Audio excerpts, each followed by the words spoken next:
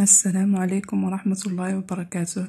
تمارين اليوم إن شاء الله ستكون خاصة بالتعبير الكتابي آه، في المتواجدة في الصفحة واحد وتسعون. La production écrite de la page 91 L'exercice 1 أو التمرين الأول. Deux phrases ce qui est interdit puis je les écris. يعني dis هي أقول en deux phrases. يعني في جملتين. est interdit يعني شي حاجات ممنوع نديروهم puis je les écris. يعني سأقوم بكتابة هاتين الجملتين. ولكن من خلال هذا الرسم. ماذا تلاحظون في هذا الرسم؟ تلميذان يتشاجران أو يتعاركان وقد قاما برمي أغراضهما على الأرض. يعني نعبر على في جملتين نقوم بمنعهما من من القيام بمثل هذه التصرفات باستعمال لفظ interdit يمكن أن نقول لهما il est interdit de te battre avec ton ami يعني يمنع عليك أن تتعارك مع صديقك الجملة الثانية c'est interdit de jeter tes affaires par terre يعني يمنع عليك أن ترمي أغراضك على الأرض L'exercice 2 J'écris une phrase pour chaque dessin avec il est interdit il ne faut pas. يعني سأقول جملة عن كل رسم أو صورة باستعمال il est interdit.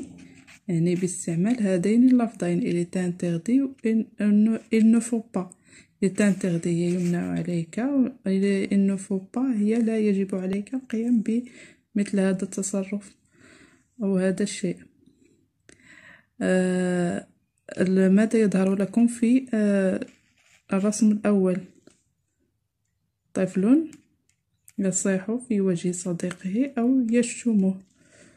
والصورة الثانية طفل آه ولد قام بسرقة لعبة صديقته وهي عبارة عن حبل نلعب به لعبة القفز على الحبل. يمكن أن نقول له Il est interdit d'insulter les autres, les autres personnes أو les autres. Il est interdit d'insulter les autres يعني لا يجب علينا أن نشتم لا يجب عليك أن تشتم الآخرين ولا ممنوع شتم الآخرين كيف ما كانوا كبار أو صغار يمنع علينا القيام بشتمهم أو يمكن أن نقول il est interdit de crier sur ton ami الجملة الثانية il ne faut pas voler les jouets de vos amis يعني لا يجب عليكم سرقة ألعاب أصدقائكم أو لا يجب عليك سرقة ألعاب أصدقائك L'exercice 3 أو التمرين الثالث Je forme deux phrases avec les mots de l'image et je, et je les écris. Je forme هي أكون deux phrases يعني جملتان avec les mots de l'image يعني بهاد les mots تعبروا على هاد الشي اللي في ليماج et je les écris ثم أقوم بكتابة هاتين الجملتين عندنا casser du stade les objets il est interdit les lieux il faut respecter ماذا يظهر لكم في هذه الصورة؟ هذا عبارة عن ملعب وهناك مجموعة من الكراسي لكن نلاحظ أن بعض الكراسي مكسرة. من تظنون أنه قام بمثل هذا الفعل؟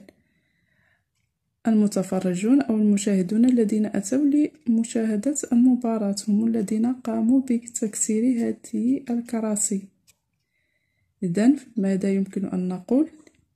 Il est interdit de casser de casser les objets du stade.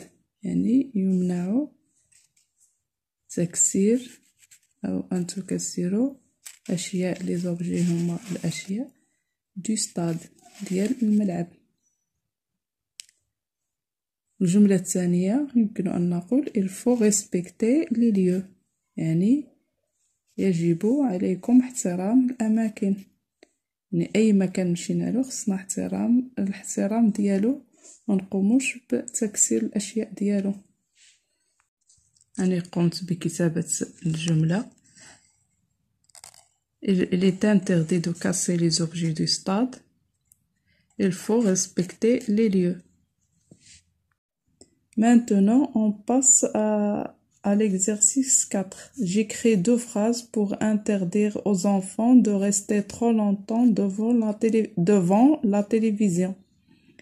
J'écris deux phrases جملتان pour interdire يعني les euh, interdire les منع من أجل منع euh, aux enfants يعني الأطفال de rester trop longtemps من الجلوس أو البقاء لمدة طويلة euh, devant la télévision أمام شاشة التلفاز j'utilise يعني أستعمل il ne faut pas لا يجب il est interdit أنا أعطيتكم مثال يمكن أن نقول Il ne faut pas rester trop longtemps devant la télévision. Il est interdit de rester toute la journée devant la télévision. Le dernier exercice, c'est l'exercice 5. Je complète le texte avec les mots suivants. يعني جو جو كومبليت هي أكمل لو تكست هو النص يعني هذا النص افيك لي مون سويفون افيك لي مون سويفون يعني بالكلمات التالية فان بيبان لي مان ان بان كوزان صلاح سولاف. صلاح سولاف. ماذا يمكن أن يغسل صلاح؟ يمكننا نديرو سولاف لي ما يعني يغسل يديه. إلى إلى. فان يعني هو جائع أو يشعر بالجوع. Il mange un grand il mange يأكل un grand pain. يعني خبز كبير. Il l'enlève il l'enlève يعني يزيل les ماذا يمكن أن يزيل؟ دي غيزان شنو هما لي بيبان لي بيبان دي غيزان يعني داك البذور ديال العنب. لي غيزان هي العنب. أو العظيمات ديال العنب. لي دون لي تترجع على لي بيبان اي لي دون تعطيهم à son petit à son petit cousin. يعني تعطيهم الابن العم ديالو الصغير صلاح ايتان ايتان غاسون تري جونتي يعني صلاح واحد الولد طيب قد قمت بكتابة الجواب عن هذا السؤال الخامس هنا صلاح سولاف لي mains. Il a faim il mange un grand pain Il enlève les pipins des raisins et les donne à son petit cousin. Salah est un garçon très gentil. وهذا هو التمرين الأخير في هذا في هذه الصفحة وإلى اللقاء أبنائي الأعزاء في فيديو آخر إن شاء الله مع متمنياتي لكم بالتوفيق والنجاح في دراستكم إن شاء الله Música